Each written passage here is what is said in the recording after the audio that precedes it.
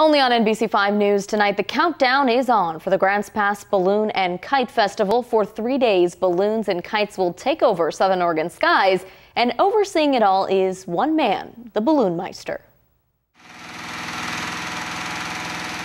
It's one thing to see it up close. It's really pretty magical. It's another to see it from inside.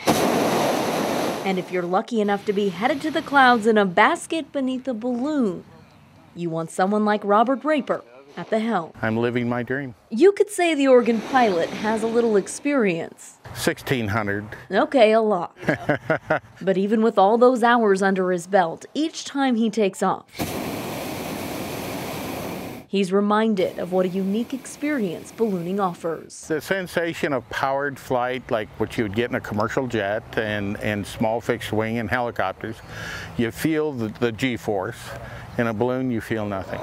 This is beautiful. And oftentimes, you're so distracted with just what you're looking at, you lose all concept of, of going up in the air. Raper will be the balloon meister at this weekend's festival. He's in charge of checking the gear and the conditions to make sure it's safe to fly.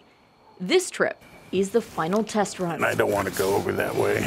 I can absolutely control going up, going down.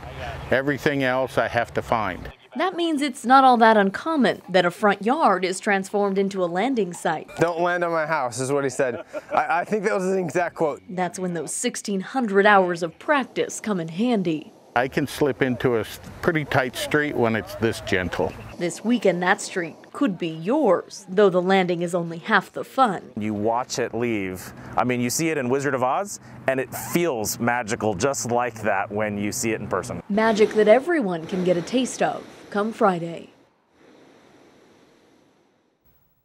All of the rides this weekend are sold out, but there are six spots up for grabs on Sunday morning. If you volunteer at the event, you earn a chance to win.